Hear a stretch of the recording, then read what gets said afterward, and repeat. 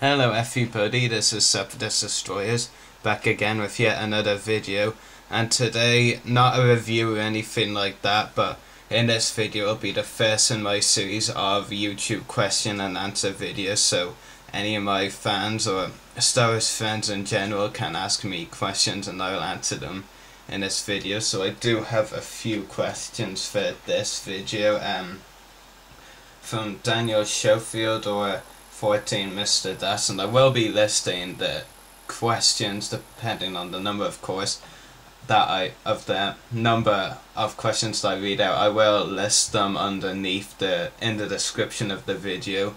So, just to let you know that. Um, Daniel Schofield or 14 Mr. Das asks, "What is your favorite Clone Wars episode and why?" As a tricky one, I do have to say, um, that is a good question. You know, before season four, I would have to say it would have been a no-brainer for me before season four.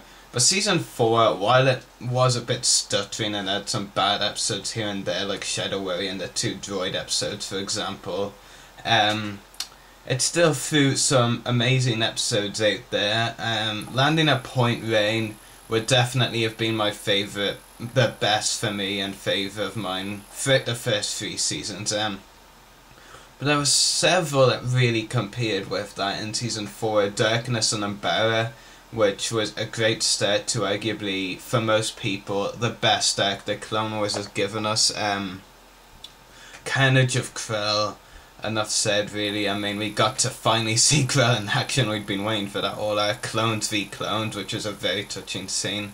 Wax's death, um, and eventually Dogma not being as much of a jerk as he had been all arc and killing Krell, which just made me hate him even more to be honest. But yeah, um, and there were some more episodes that were really good. Um, the box that was a really good one, and three of the season four finale massacre amazing episodes um, Bounty, I finally got to see Dengar um, and Revenge. That was a great episode, and it's definitely special for being the first finale to end on a cliffhanger, if you know the Maul Savage scene.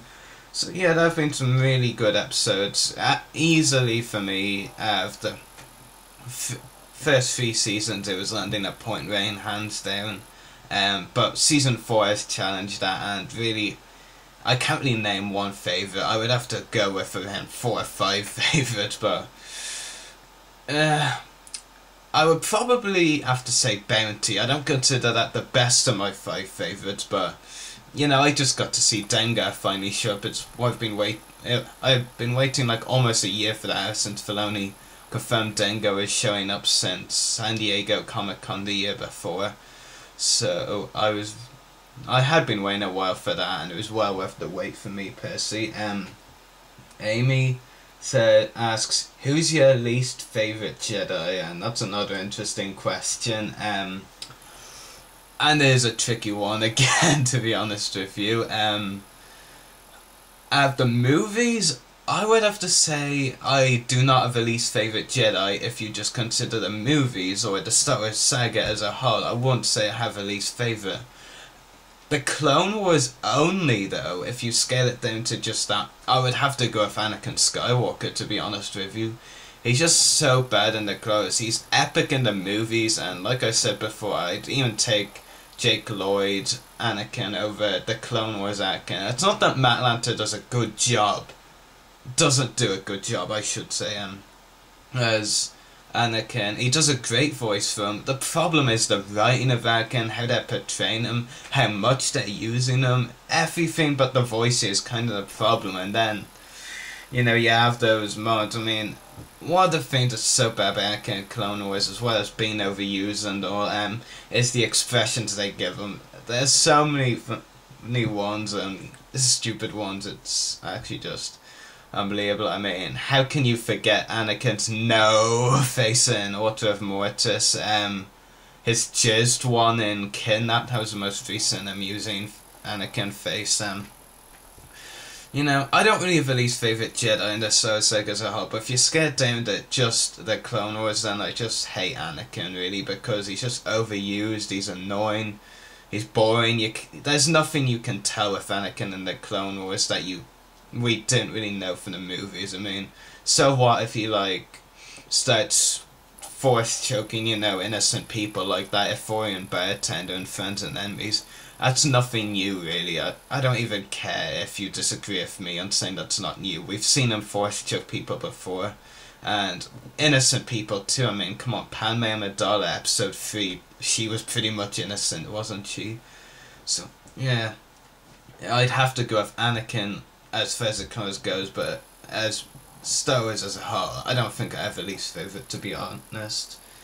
Um, just read out one more question. Um, Graham asks, How do you think Ahsoka should go out of the Clone Wars? Expand on your choice.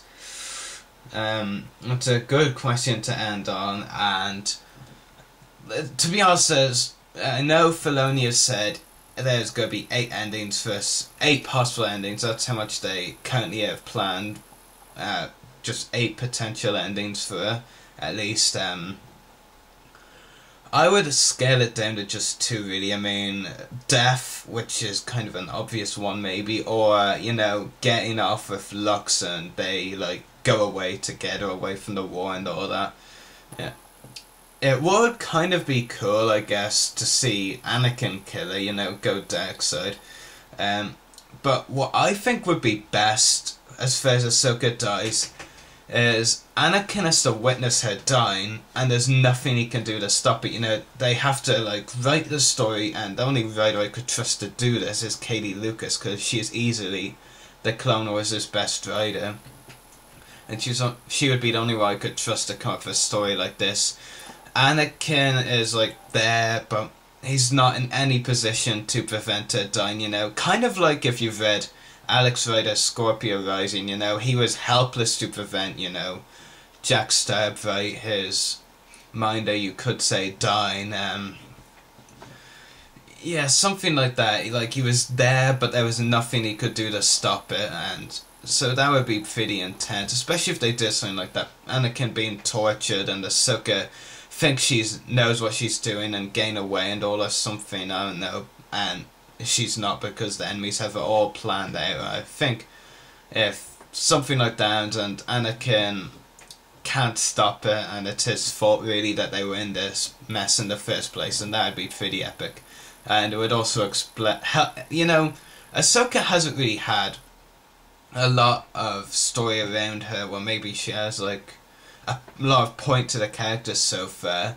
And what would really seal the point to the character in the close for me is if she dies and, you know, Anakin, you know, it helps him on his way to the dark side, if you know what I'm saying. You know, I think Ahsoka's death really could help that. I mean, Vinin and Ahsoka uh, and maybe Rex as well is a good idea to the extent that you know, if I can see some die, will really help him on the way to the dark side. I mean, because killing off other characters, like, I don't know, just won't really bolster his going to the dark side. But I think if Ahsoka and or Rex die, then that would really help Anakin's fall to the dark side make more sense, or something like that. And that is all the questions for this video. If you have any more, if you whether you ask whether three you asked me these or whether you haven't asked me a question before, whether you want one of the ones want and ask this I'm failing right now and want to ask me a question or if you want to ask me another question because you already did then feel free to leave a comment below and I will hopefully get into answering it as soon as possible. I have got more figure reviews coming soon hopefully some good stuff, mainly older Clone Wars stuff for now, until I can receive some more stuff. So anyway, may the force be with you.